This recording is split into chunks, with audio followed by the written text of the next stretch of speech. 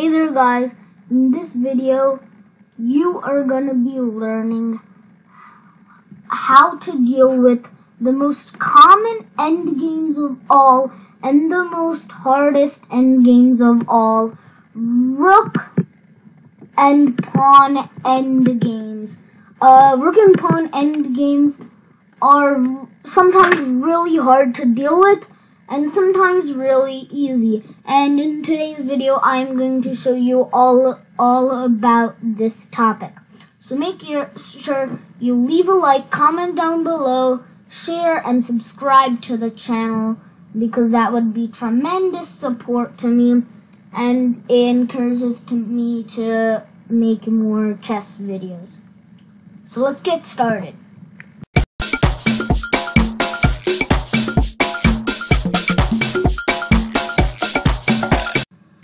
Alright, so in this position, what would you have to do? Now, we are white and we want this pawn to get here, promote, but our king can't move because if we move here, that's illegal because this rook is watching this G file. And the king is watching the the two escape squares on the E file too. So what to do? Well, what we have to do is do king to, uh, I mean, rook to D2 check. We have to check the black king, and that's our only option. And it would be very silly if the black king moved here, because then he's just doing our job for us king goes here and there's no more check because the black king blocks and really white is just winning here. Black is gonna lose either by skewer, either by checkmate, or either by resignation. You name it, but black is definitely gonna lose. So back in this position, black should can do something like king to c7 and then we do and then we do king to e7 and now there's a problem. There is like a slight problem. Um this rook just checks us and we cannot hide from this big bad rook that's stopping us from promoting so that's not really a good idea Alright. So king to c7, rook to d4 is the winning move. And because because of the threat of this, we have to do something clever. And it's called building a bridge. So what we do here instead is move the rook to d4 and um, we just win. And the bridge is basically uh, a distance between a rook and a king to stop the rook from to stop the opponent's rook from giving checks and making a barrier. Alright. Rook to g2. There's nothing black can do like so he just has to make a waiting move. Now king to e7. Alright, we're starting to build our bridge. Now, rook to d2 check. King f6. Rook to f2 check. Black has no option but to just check us. King to e6 check. King to e6. Rook e2 check. King to f5. Rook f2 check. And we build our bridge. Our bridge is complete. Uh, once we trade off rooks, this black king cannot get to that pawn, and thus we win. We just win. Okay. And back in this position, we just do this. We just do this. Like, like we just do that.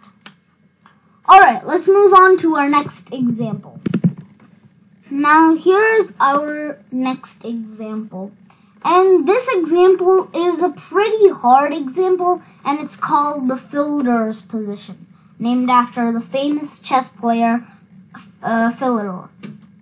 And And if your first instinct is to check, well, my friend, you are doomed. After black creates a meaning threat, this king's gonna be pushed out of here. This pawn's cut. This little piggy or pawn is coming down. White is basically dead. Like, basically just literally dead. So what to do in in this position? Once we go back, what do we do in this position? Well, we have to come up with another clever idea. And what we do and what makes this move so hard to find is because it's not a pin, it's not a check, or it's not a capture. Wait, who am I kidding? You cannot capture anything in this position. Anyways, the correct move is rook to a3, sealing, just literally sealing off this black king from moving. And now it's it's a draw if black plays correctly, and if it's a win if black does not play correctly. So it's either a draw or a win for you, but this position is quite hard. Um, and now what happens after this is like Black will eventually get frustrated that he's gonna move his pawn, so then he can move his king here because the pawn is the shelter. But now it's basically even. We just head back, and the the black pawn gives shelter from here, but not from here. So we just do rook to f8 check, and black really cannot just like um yeah, black cannot do anything about this. We're just gonna keep checking and checking and checking and checking. And if you haven't seen my videos on ways to draw or my in my beginner series, I've put posted the link in the description down below, and it's in the eye icon above, so you can click and watch that. But there's a way you can draw. Just let 50 moves happen just doing this check, check, check, check, check, and it will be automatically a draw. Oh, and if you are in a tournament with this position, you have to be notating.